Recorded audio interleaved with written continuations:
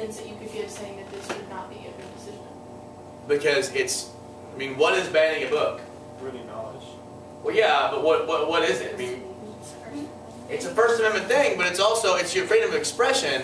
You are, you are, the library would be taking away someone's right to learn and express themselves. Um, it's the road to fascism. If someone, and some people say something like, um, or uh, you, have you, you haven't started reading um, Huck Finn yet, right? A lot of places wanted to ban Huck Finn. People wanted to ban Huck Finn for a number of reasons. Some because they don't like it using the N-word. Some because they think it um, fosters, um, you know, um, rebellion in kids and stuff. What's the What's the most famous book that was written in the I guess I guess the early '60s that a lot of places didn't want to have? Written by uh, J.D. Salinger, Salinger, uh, Catcher in the Rye. How many of you guys read Catcher in the Rye? Yeah, when I was in, if you haven't read Catcher in the Rye, you should. I used to call myself Holden Caulfield. I was, I I was like a pissed off smart kid who didn't want to listen to people. In the end, that's like most smart kids, right? But um, yeah, people didn't like that because they thought he was going to you start questioning things. People who hold reins of power don't like it when people read and learn and question. It's a dangerous process for them. This is what's happening in the South. They don't want people reading Uncle Tom's Cabin. They don't want people internalizing what slavery really is. And they don't want to have poor white people know that they're also getting screwed over. Um, I mean, what other books do you know that have been banned?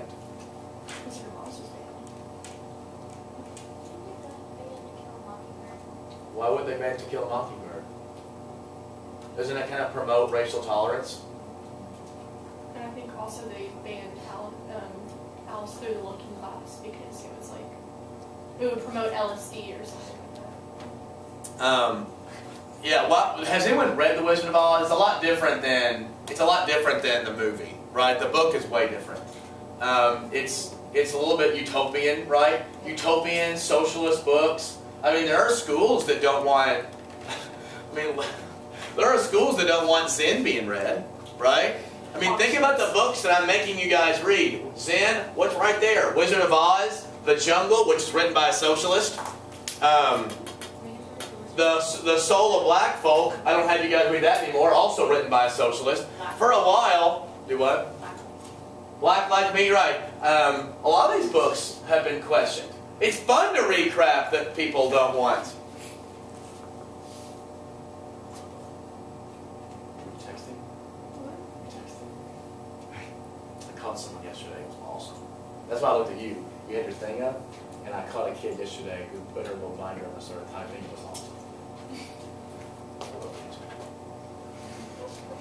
I don't write them up. I just like catching people. Um, okay, now let's talk about the reaction to the Kansas-Nebraska Act. And it gets ugly. And we're going to basically call this Bleeding Kansas. The whole irony of this, by the way, do you know how many slaves were in Kansas? Three. Two. This was over in the issue of two slaves. Now, but in the end, if you're the South, it's not how many slaves are there. What is the issue? If you can have slavery or not have slavery. You with me? So now the fact the South is mad because the North is mad. Like, wait a minute. You just signed this, like the Congress just signed the Kansas-Nebraska Act, so you're going along with this. Don't get pissed off. This is law now. So they're mad that the North is mad. Everybody's mad. And now going to start arming each other. The New England um, Emigrant Aid Company is an example of this. Um, people from New England, specifically Massachusetts, 2,000 people came to live in Kansas. Well, they came to live armed with weapons. They called them Beecher's Bibles. Oh, that's very interesting. They saw, the South saw this as a betrayal, right? Nebraska was going to be free and Kansas was going to be slave, and now the North is interrupting this? And then it goes into, it actually goes into start fighting.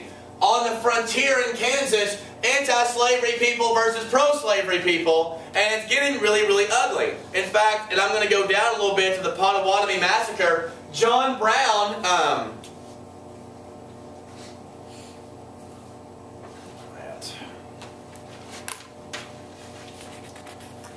John Brown, you know who John Brown is? Really bad flag. He's later going to get caught at Harper's Ferry trying to start a slave revolt. He was desperately anti-slavery. He and his sons thought God had ordained him to stop slavery at any cost. At Potawatomi, he and his followers took broadswords, basically like big machete things, and hacked five people to death. That's a bad way to die for keeping score at home. And he saw himself as doing God's work. What's the problem when people see themselves as doing God's work? They do whatever they want. They think that whatever they do has been ordained, therefore is morally right, therefore is justifiable, therefore they will continue to do it. And both the North and the South are claiming God, right? That's also dangerous when both sides claim God. Um? Potawatomi, it's in Kansas. This is um, in reaction, by the way. You know where Lawrence, Kansas is? It's where University of Kansas is. Um, Pro-slavery, they're called border ruffians from Missouri, came over and killed many anti-slavery people in Lawrence. So you got deaths in Lawrence. You got hacked up people in Potawatomi. Both sides now have blood on their hands. And it goes into Congress. In fact, in 1856, this is one of the funniest things. In fact, I'm going to get a cane that's going to help discuss this. This cane is a little bit more aggressive. Oh. The steel cage match between Sumner and Brooks. Charles Sumner was a senator from Massachusetts.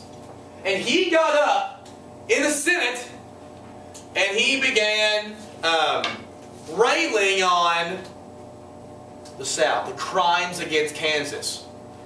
Lashed out, he's insulting Southern senators. He's insulting the South. He's calling them devious and wicked.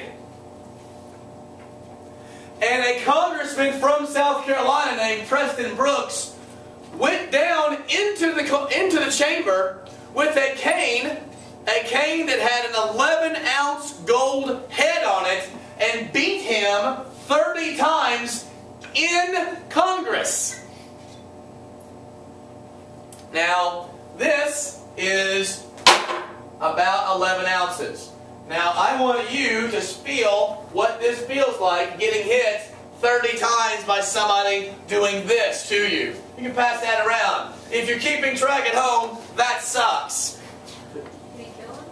No, but he put him in uh, the hospital for a long, long time. Preston Brooks gets asked, he quits Congress. He's asked to leave, and then the people of South Carolina vote him back almost unanimously. And Sumner ends up winning his election again, the North standing up against the South. This might be the first, one of the first casualties of the Civil War was Charles Sumner. I mean, think about this. You're having congressmen and senators beat each other in Congress over what's being said. Now, our Congress today doesn't get along that well, but we're not here yet. Right? Comma, yet. I don't know if Ted Cruz will be the guy bashing somebody or he'll be the bashed. Probably. Um, all right. So now, the question is, is Kansas in the end going to end up being slave? Because remember, they haven't voted yet, right? The people of Kansas haven't voted yet. And so they're they're going to vote on the Constitution. This Constitution will determine whether or not they're going to have slavery. And the Constitution was called the Lecompton Constitution. And the South Southern sympathizers wrote this. I know I'm going fast. I'm trying to get so you guys have all this stuff. Southern sympathizers wrote this. Yes. What did the other other congressmen do while that dude beat the crap out of the other dude with cane? I think the Southern senators, Southern people cheered. I think the North got Brooks off of Sumner.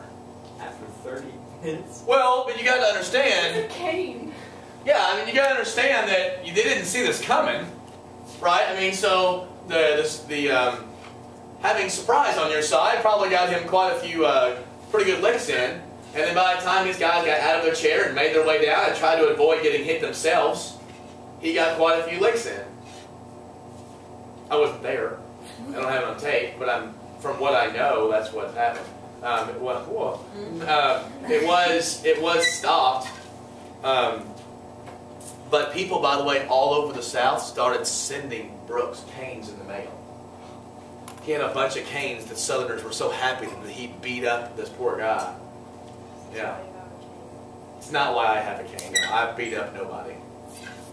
I'm old for my life. I've never started a fight or been in a fight. I got punched on the street of Louisville one time. A kid, one of my, I was a kid, this other kid came to me and wanted my baseball cards I had with me. I was going to buy some at a baseball card shop, and I said no, and he punched me in the face and then ran across the street. It was really weird. You didn't even take your baseball That's really cards. weird. Yeah, he didn't have a baseball cards. Anyway, he wasn't that big of a hit. He was like, he was like, give me your cards. And I went, no. He went, and he hit me and ran across. He was like 11, and I was like 11 or 12, and he ran across um, Bardstown Road. Didn't even look. Um, it was really weird. Okay, okay. So let's talk about the Lee Constitution. This is the vote to see whether or not they were going to have slavery.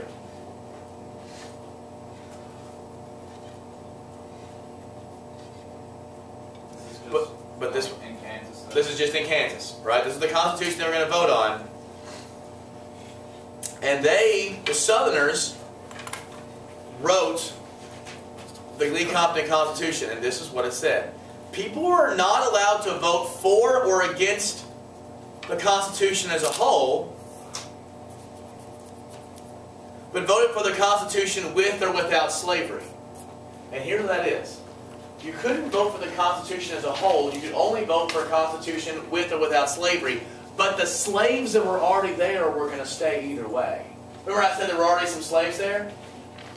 So if you voted for slavery, then slavery was extended. If you voted for no slavery, there were already slaves there, which essentially made it a Slave state. slave state. So therefore, what was going to be the either way? What was going to happen? There were going to be slaves. Either way, there was going to be slaves. And so free soilers, you can understand what free soilers are, right? People who did not want to extend slavery, they refused to participate in this.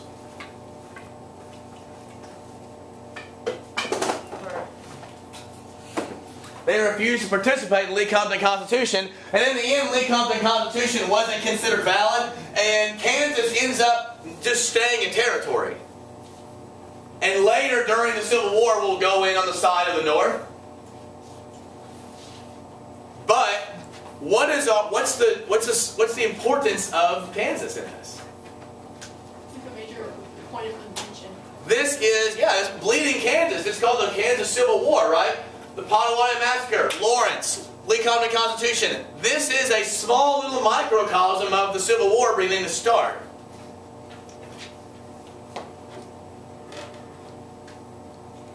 And it does not get through Congress, and it remains a territory. And so what ends up happening um, is the Democratic Party ends up being split. You end up now having Northern Democrats and Southern Democrats. And do the modern Democrats stem from the Northern Democrats? No, not really. We'll get to that. I mean, um, sorta, but not really. Um, in fact, the Democratic Party was really the, were, were Whigs popular in the South? Do you think?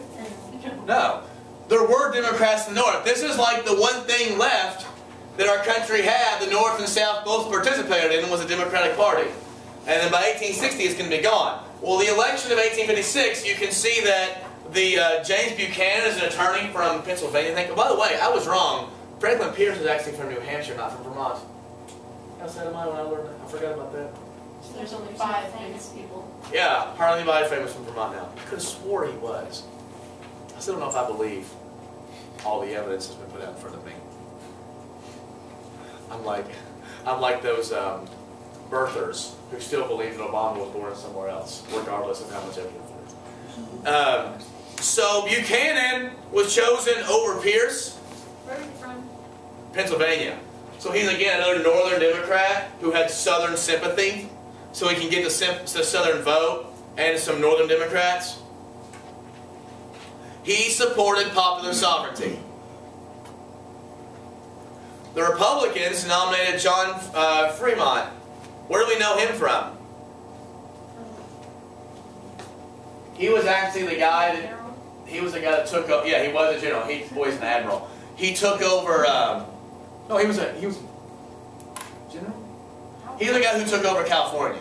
He's seen as the founder of California. Which one's the Republican? Uh, Fremont is. In fact, he's the first Republican.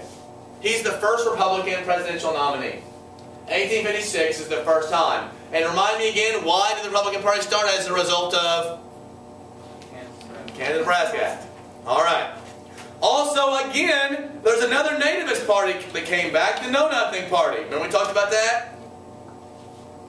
The Know Nothing Party was represented by Millard Fillmore, who had actually been president before. How many of you ever seen a movie called Gangs of New York? All right, one or two of you.